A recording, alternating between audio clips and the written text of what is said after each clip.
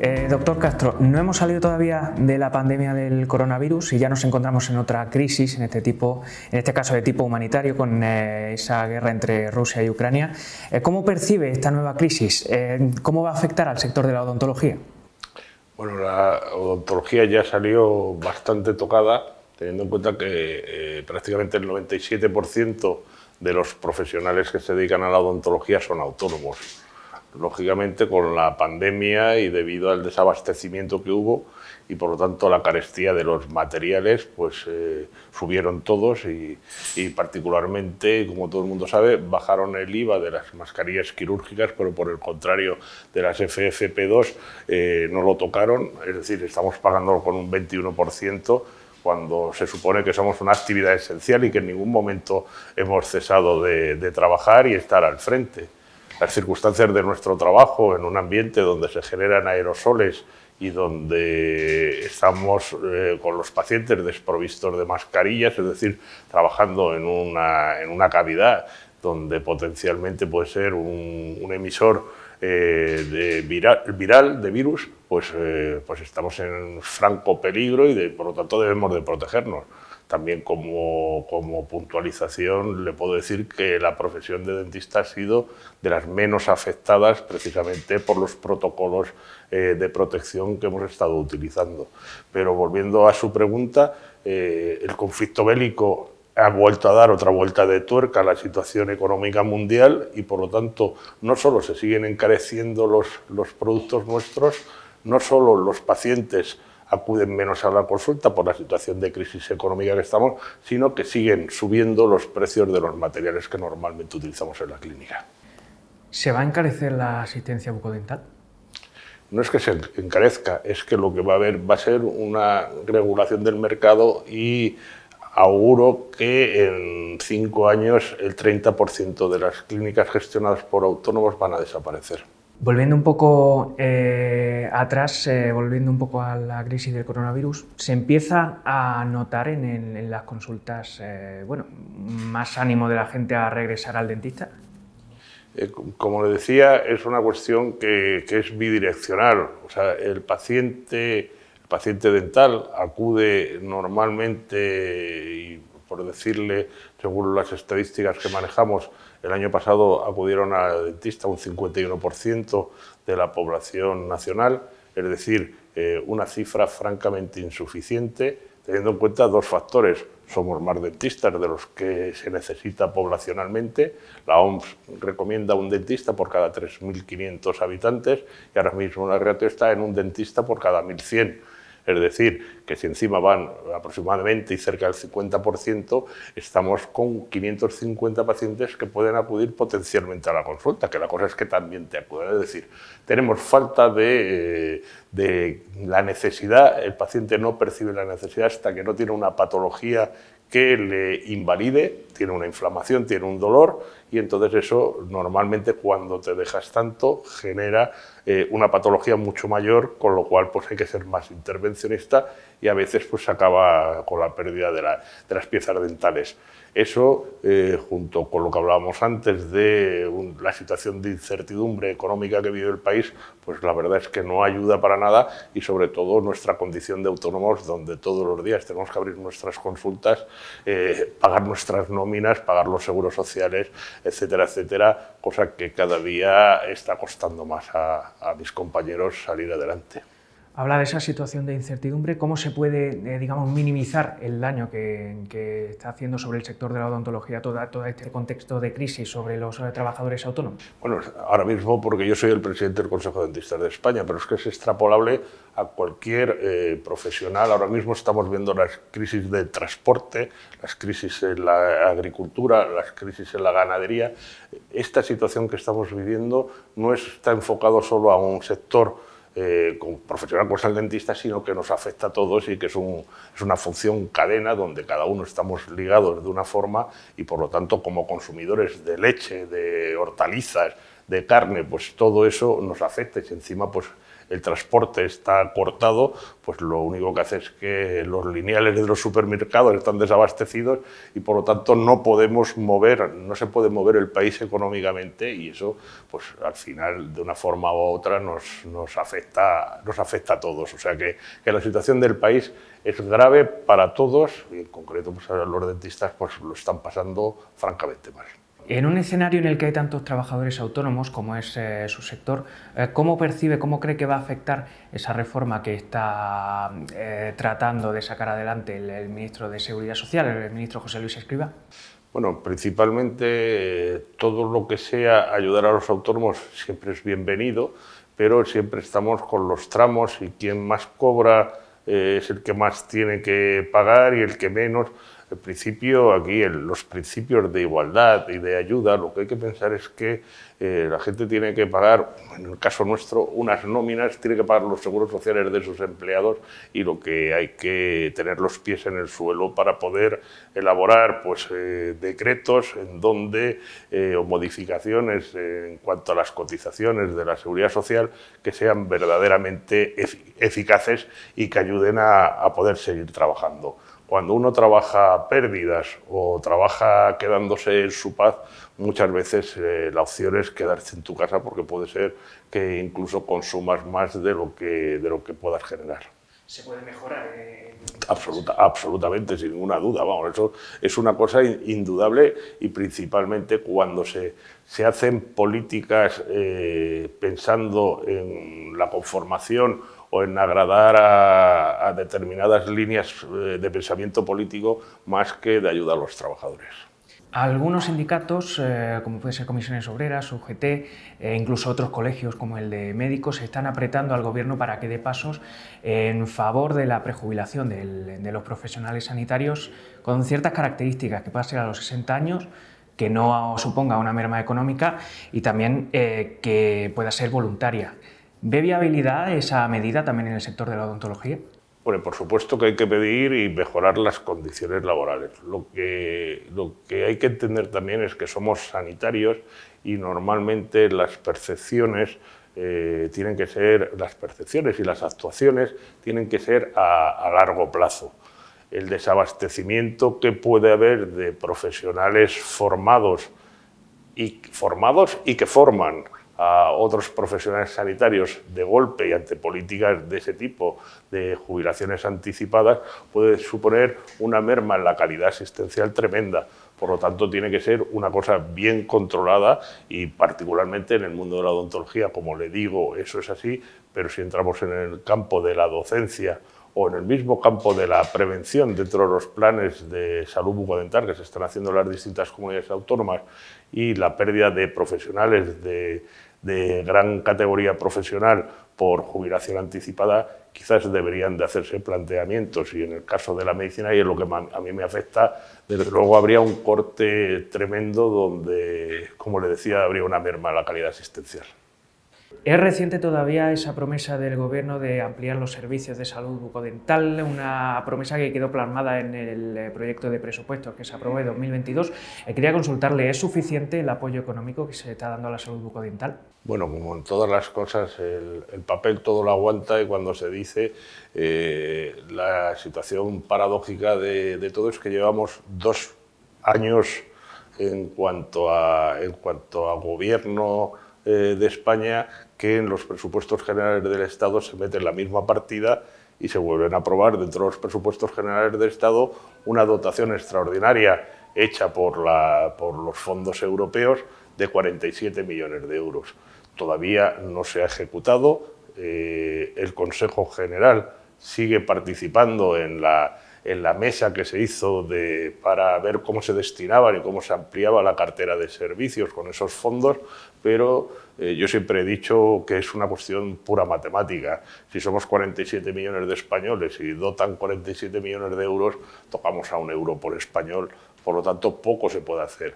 ¿Qué es lo que decimos en todo caso y como mal menor? Incidir, incidir en la parte más débil de la sociedad, como son los niños, con planes preventivos, ancianos, que principalmente son los que cargan las mayores patologías y el edentulismo, es decir, la falta de dientes que, tienen nuestros mayores aquí en España porque no pueden acceder a una salud bucodental adecuada y las personas con discapacidad tanto física como intelectual porque también es una de las partes débiles de esta cadena donde, donde, tenemos, que, donde tenemos que incidir. Entonces, nosotros estamos diciendo eso y, por supuesto, habría que dotarlo mucho más. O sea, simplemente hay que ver y molestarse, porque sacando la anécdota de todo, pero molestándose en leer los presupuestos generales del Estado, vemos miles de billones que se destinan a, políticas de política y eh, se obvia la parte más importante para las personas, que es su salud.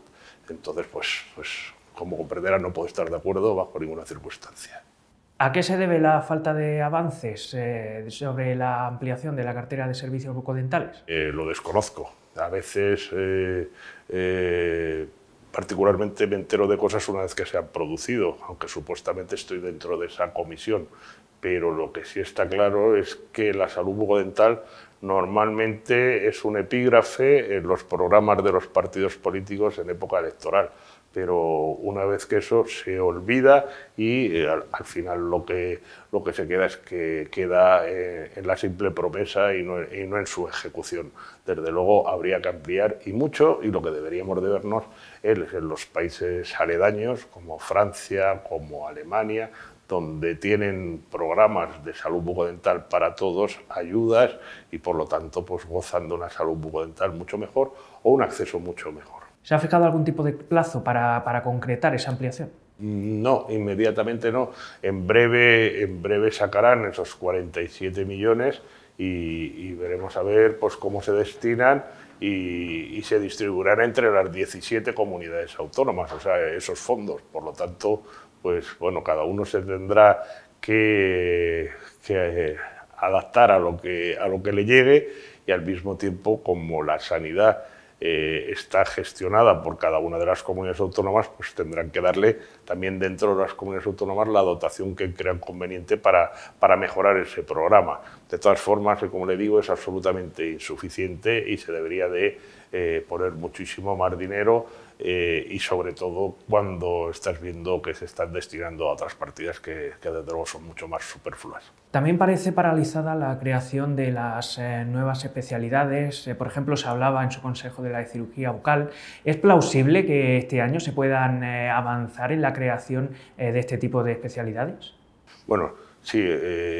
entiendo su pregunta, pero al hablar de nuevas especialidades se supone que hay algunas especialidades ya y no existe ninguna. En España se estudia odontología, ahora mismo es el grado de, odontología y no hay ninguna especialidad después. O sea, sales como odontólogo general y luego puedes dedicarte en exclusiva pues, a la ortodoncia, a la cirugía bucal, pero no existe, no existe especialidad como tal, eh, a comparación y en agravio a cómo están otros países de, la órbita europea, donde en toda Europa existen las especialidades en odontología y el único país todavía que no, que no las ha formado, precisamente, y, sospecho que por su condición de que principalmente es una actividad privada, marcada por, la propia, por, por las propias circunstancias, la propia ley, no se hace no se crean plazas en la sanidad pública y por lo tanto el 97% de la actividad odontológica se hace en el sector privado. Eh, pero de una forma o de otra y dependiendo del modelo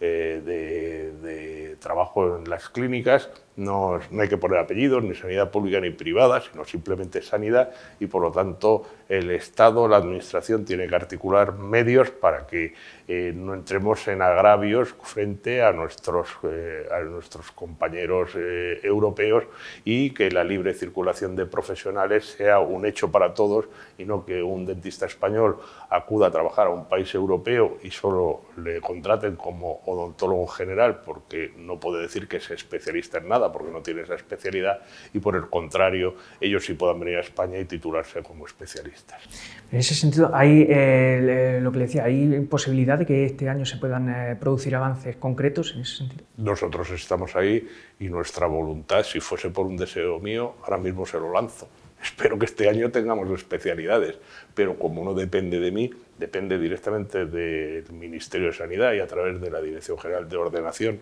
de las Profesiones Sanitarias, ahora mismo acaba de haber un cambio y como siempre, cada vez que hay un cambio, pues tienen que adaptarse a esa nueva situación. Todo eso supone un atraso en todo lo que se llevaba avanzado, negociado y expuesto. Y entonces, pues la nueva directora general pues, tendrá que conocer y situarse cómo está, cómo está y ese, y ese decreto de especialidades, pues esperemos que, que, en breve salga y que los dentistas estemos ahí sin ninguna duda. Ortodoncia y medicina bucal son las puntas de lanza y esperemos que, que eso pues, se concrete en algo. ¿Qué expectativas tiene con la designación reciente de Celia Gómez en ordenación profesional? ¿Se ha producido ya alguna primera toma de contacto? Pues ayer precisamente, ante la publicación tanto del cese del anterior director general como del nombramiento de la nueva directora, pues a uno se le despidió y a otra se le dio la bienvenida, o sea que todavía al mismo tiempo aprovechando para pedirle una entrevista para, para volvernos a situar otra vez en la, en la situación y volver a explicar todo. Es el triste juego de la oca de la odontología o de la medicina o de todo, donde volvemos cada vez que hay un cambio y un nuevo nombramiento, volvemos a la casilla de salida. Recientemente usted mismo anunció la creación de esa Academia de Ciencias Odontológicas, la primera de España. Eh, ¿Qué va a suponer la creación de este centro? Bueno, pues supone, por un lado, eh, que la odontología española se pone al mismo nivel que la medicina, que la farmacia, que la veterinaria, donde cada uno de ellos tiene sus sendas academias, no solo autonómicas, sino eh, la Academia Nacional. Esto es el germen para que cada una de, las comunidades autónomas pues, eh, ponga sobre la mesa la necesidad de una academia que después de todo es un centro de cultura, un centro de formación científica y de expresión de todos nuestros conocimientos hacia la sociedad y que por lo tanto pues es una cosa buena. O sea, que, las academias como, como centros de, cultura yo siempre digo que, que, es una cosa que debe ser bienvenida y los parabienes para todos porque no es decir quiero abrir una fábrica de armas, sino quiero abrir un centro de expansión y de cultura, por lo tanto todo el mundo debe estar contento y debe estar orgulloso. Incluso eh, le puedo decir que el presidente de la comunidad autónoma de Murcia, eh, Fernando López Miras, que ha sido el primero y que lo aprobó en su ejecutivo y que está absolutamente orgulloso de que Murcia sea la pionera en España en cuanto que, que, exista este tipo de academias, lo mismo que existen en otros sitios como la Academia de Ciencias Odontológicas Internacional Pierre Fouchard, que tiene su origen en Estados Unidos y que, y que se extiende pues, por todo el mundo. Pues lo mismo que existe esto, son centros de formación y por lo tanto bienvenidos y esperemos que este hito histórico siga más y, y que lo podamos celebrar su centenario. Bueno, has conocido también eh, su arraigo con la región de Murcia, imagino que en ese sentido lo ve con muy buenos ojos, muy buenos ojos que sea la primera allí. Mm. Bueno, yo soy madrileño, pero, vamos, que de, esto es, es, una cosa que precisamente como, como la creación de academias es competencia de, de, los gobiernos autonómicos, pues entonces allí, que es donde trabajo y donde me desenvuelvo normalmente, pues es,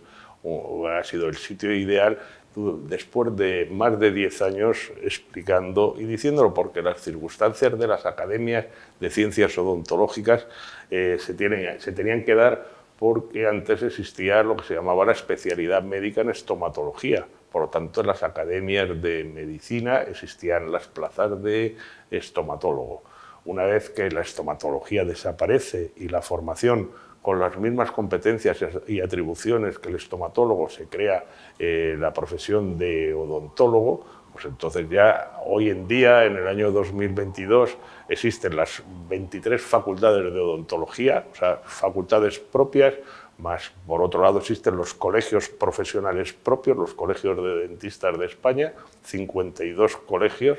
eh, y 17 consejos autonómicos y por otro lado existe el número suficiente de doctores en odontología, no de medicina, sino de odontología exclusivamente, como para poder conformar ya